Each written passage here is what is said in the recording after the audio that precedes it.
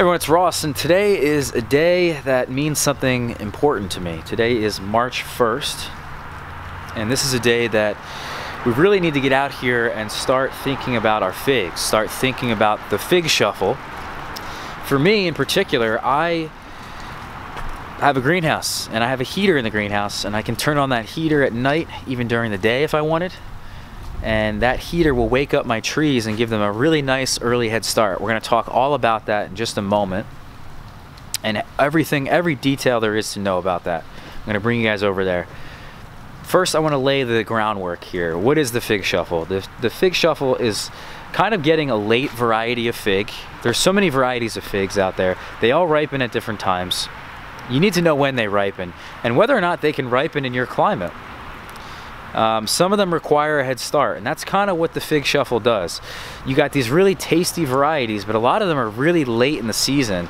And for someone like me who lives in a short season climate, I'll never really be able to get to taste those, especially at a time of the year that isn't filled with cooler temperatures or filled with rain nonstop. So for me, I got to get them an early head start, okay? It's really important. A lot of you guys do this. You already know what I'm talking about. I'm sure a lot of you do. It's real simple. You take a fig out of your garage or your storage area. In my situation, it is the underneath the sunroom here, which kind of acts as a root cellar. Things don't get too cold, they don't get too hot. So things get really as a stable temperature down there and everything's dormant, right? We'll take the pots out of here, put them on the patio as an example, and let them get hit with those warm temperatures during the day. And if I had, you know, a good back like I do, and I was young like I am, uh, but I didn't have so many pots that I do, right? I have probably a hundred fig trees here that are in large pots. So for me, it's not really feasible to do something like that. But once the temperatures then drop down to colder temperatures, below 32 degrees, you have to really pay close attention to the weather I would then take those pots here on the patio and bring them back into the storage area. And this would be a repeated process to give them as early of a head start that I can. And they'll, they should naturally wake up here on the patio. Uh, maybe you need to give them a little bit of a head start or a little bit of a boost somehow, I'm sorry. Your garage could come in handy because your garage probably is quite warm at this time of the year, March 1st. Things may be could be waking up there. And, and the garage, which we have on this side of the house, we could actually just open up the garage door. A lot of people do that. I mean, they dedicate their whole garage to these fig trees. So that's the fig shuffle in a nutshell. And essentially, it, get, it gets you a head start, which then gets you earlier figs, especially on those late varieties that require more heat earlier in the season or just a longer season in general. You could also use a window and put the fig tree in the window. Let it wake up naturally in your house. A lot of you guys ask me about that. And it's like, yeah, of course you can do that. What, you know, that's the whole game, right? That's the whole thing we're trying to accomplish here in my yard. That's what we do. So going over here to the greenhouse, this is, I want to talk about the greenhouse because this is really important and the details here are always asked about. And uh, I don't know if I've ever really made them that clear but the greenhouse is going to be opened up um, and the heater is going to be turned on. Okay, I'm sorry.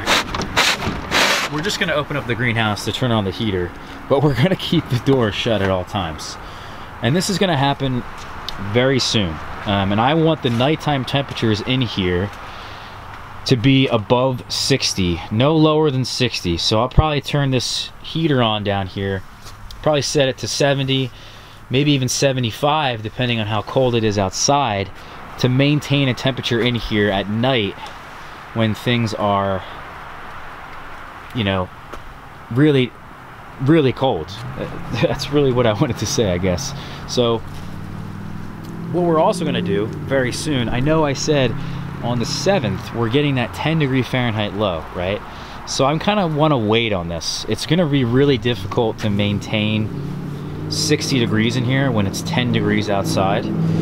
So what I'm thinking is after that 7 degree, or that, after March 7th, I'm sorry, we're gonna take this tarp off because this tarp's really giving them um, really good insulation. This whole tarp actually does wonders for keeping it much warmer in here.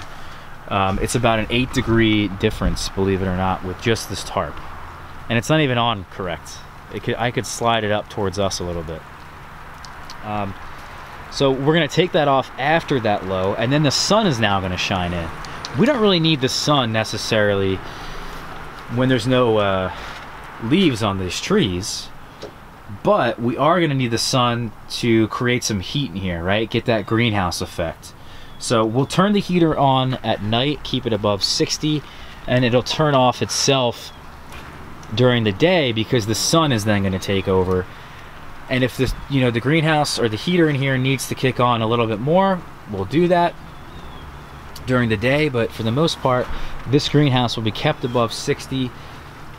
Uh, in fact, in like sometime around May, um, early May, late April, everything is going to come out of here because at that time of the year, especially even in parts of April, if it gets to be 60 degrees outside and the sun's shining, it could reach 100 degrees. I've even seen it 120 degrees in this greenhouse. So we can't really keep the trees in here, but it's really nice to give them a nice head start. Everything will leaf out. Usually the pomegranates leaf out first, followed by the the figs. And I don't want to have them leaf out, I think, in preparation for the really cold nights that we're going to get in the next few days. So we may kick on the heater to kind of wake them up a little bit. We're going to have to kick on the heater anyway. But realistically, we're going to wait until after the 7th and really kick on this heater to keep things at night above 60.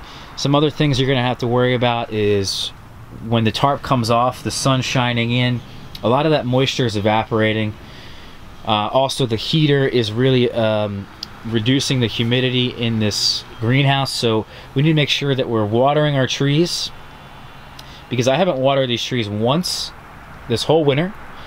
Uh, but we also need to make sure that the heater is not really blasting some of the wood that could be desiccating as well. So protect the wood and also protect the pots, the roots. And um, you know, that's really all there is to it. We're just going to wake these things up. We're going to get a really nice head start to the season.